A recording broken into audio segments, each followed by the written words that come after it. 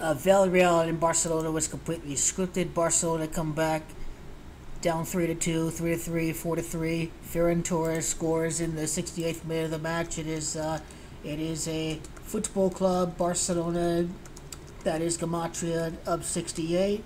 Uh, Lewandowski scores in the 71st minute. Barcelona is Gematria 71. I think it's Lewandowski. That's Gematria 71, if I'm not mistaken. Maybe Robert Lewandowski. No, Gematria 79. But 71 is Gematria of Barcelona. I want you to notice the table. Villarreal have scored five goals and they have conceded six.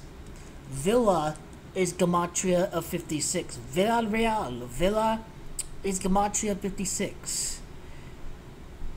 Down two to nothing. They're up three to two, and they allow the final two goals of the game.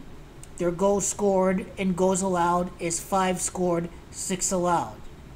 This is how the match between Barcelona and Villarreal was scripted. Uh, you can't have La Liga end after three matches you pretty much had a pretty clear idea what was happening. What, what, what, what?